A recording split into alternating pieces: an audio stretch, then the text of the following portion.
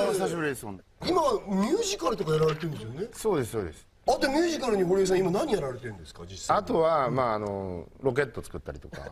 どういうことを目指してロケットエンジンい作るや普通にもう自分たちがどんどん加藤さんとかも上がれるようにする。民間人がどんどん上がっていけるような民間のロケット業者を作りたい。はいはバカでも1000万稼げるっていうテーマなんですけどこれはありえますか？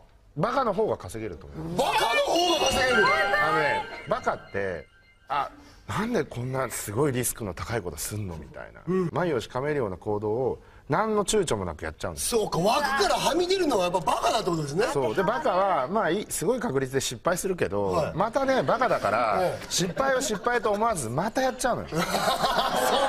でそれでそうかそうか。5回10回やってると、たまたま当たったりするわけですよ。そうか。う。んなるほどわかりました